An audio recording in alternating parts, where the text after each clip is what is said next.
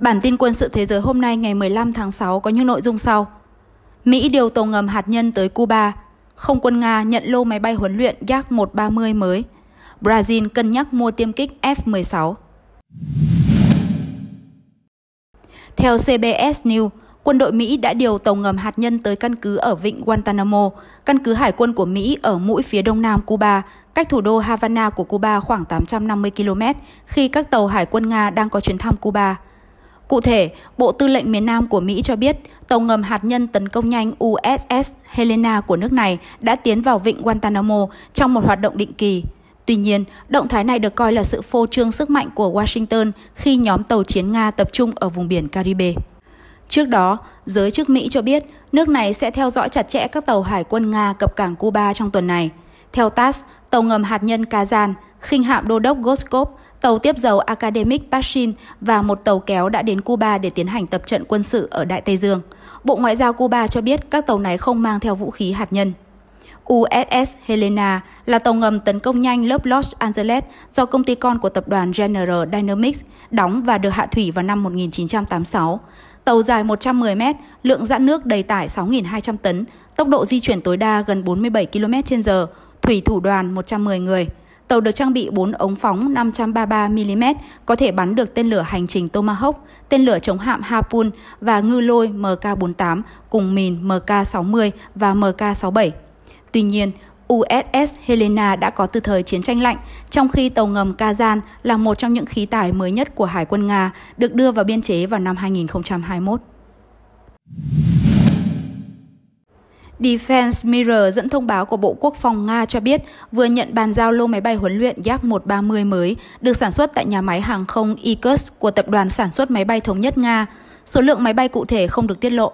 Đây là đợt bàn giao đầu tiên đối với máy bay Yak-130 cho quân đội Nga trong năm nay, bởi lô trước đó được chuyển từ tháng 12 năm 2023. Trong bối cảnh Nga tiếp tục thực hiện chiến dịch quân sự đặc biệt tại Ukraine, phi đội máy bay Yak-130 đóng vai trò quan trọng trong việc huấn luyện thực hành đối với phi công, cũng như hoàn toàn có thể được triển khai ra tiền tuyến nếu cần.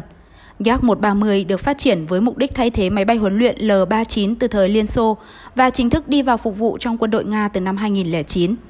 Một trong những tính năng nổi bật của Yak 130 là ở khả năng mô phỏng, cũng như thực hiện các động tác thao diễn đặc trưng của máy bay chiến đấu thế hệ thứ tư và thứ năm. Đặc biệt, máy bay không chỉ sử dụng làm phương tiện huấn luyện mà còn đóng vai trò cường kích hạng nhẹ, khi nó có thể sử dụng cả rocket không điều khiển hạng nhẹ S8 hay dòng S13 và S250FM nặng hơn. Đồng thời, Yak-130 cũng có thể hoạt động như một máy bay tấn công mặt đất nhờ khả năng mang bom nặng tới 500 kg, bao gồm cả bom dẫn đường thuộc loại KAB hay FAB, nhưng gắn thêm mô đun UMPC khiến chúng trở thành bom lượn. Nó cũng có khả năng không chiến khi sử dụng tên lửa không đối không R-73 với đầu dò hồng ngoại thụ động. Bulgarian Military đưa tin, sau thỏa thuận gần đây của Argentina mua tiêm kích F-16 đã qua sử dụng, Brazil cũng đang đàm phán với Mỹ về việc mua 24 chiếc F-16. Không quân Brazil hy vọng sẽ sớm đưa ra quyết định, có thể vào cuối năm 2024, khẳng định điều này phù hợp với kế hoạch thay thế các máy bay chiến đấu cũ của họ. Đây là thông tin gây bất ngờ bởi thỏa thuận năm 2014 của Brazil với công ty Saab về 36 tiêm kích JAS-39 Gripen trị giá 5 tỷ USD dự kiến sẽ được giao từ năm 2027. Đáng nói, hợp đồng đó đã được gia hạn vào năm 2022 để bổ sung thêm 4 chiếc nữa, nâng tổng số máy bay lên 40. Đồng thời, Brazil gần đây cũng bóng gió về việc mở rộng phi đội máy bay JAS-39 Gripen của mình. Có thể thấy, bất chấp kế hoạch mua thêm JAS-39 Gripen, không quân Brazil đang tìm kiếm những cách rẻ hơn để thay thế các máy bay chiến đấu sắp đến niên hạn loại biên của mình. Ban đầu, họ muốn tăng gần gấp đôi số tiền mua JAS-39 Gripen để thay thế các máy bay phản lực Mirage và AMX cũ. Tuy nhiên, những hạn chế về kinh tế đang khiến họ phải xem xét lại.